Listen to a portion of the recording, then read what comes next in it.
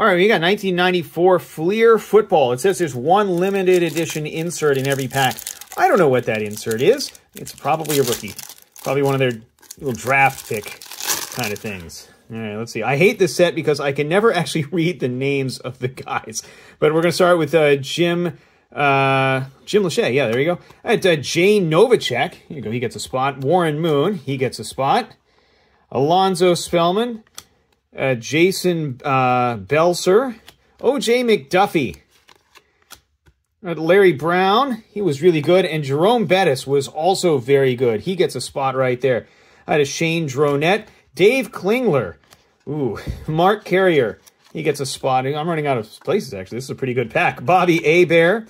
Trace Armstrong. Moe Gardner, and we're going to end with Rod Bernstine. Well, I have to say, I went into this with pretty low expectations, but my God, this was a really good pack. Thanks for watching.